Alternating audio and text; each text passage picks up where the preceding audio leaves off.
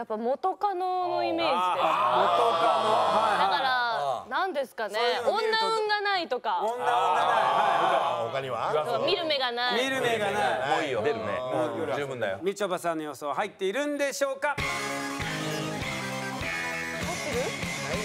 ってないかな。入ってますよ。入ってますね。元カノバカポンコツ性格が悪い。入ってます。バカポンコツは言ってないでし見る目ないんだからバカポンコツだもんね。バカポンコツは言ってないよ。